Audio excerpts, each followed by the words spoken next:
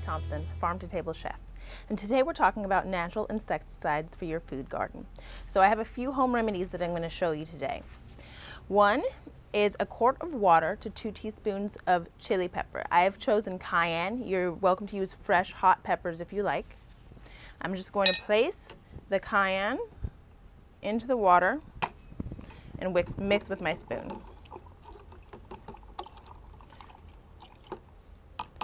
Voila. So the next one we're going to do is a quart of water with about two cloves of fresh garlic.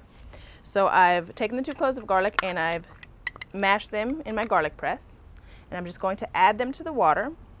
With the garlic, it's best if you let it sit for about an hour so the, the oils can really permeate the water.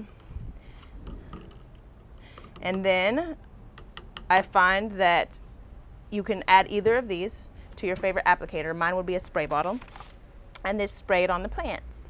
Now you want to make sure when you're spraying on the plants, I would test it by using a small amount of plant at first and make sure to use not too much at first. So you don't want to burn or shock the plants in any ways, but you do want to deter or kill the insects. A few others that I can recommend are canola oil.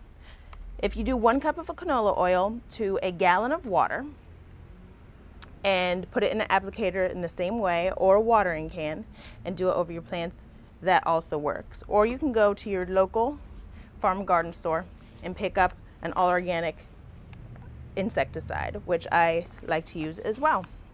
And that is how to deter insects from your vegetable garden. This is Teca Thompson. Thank you for watching.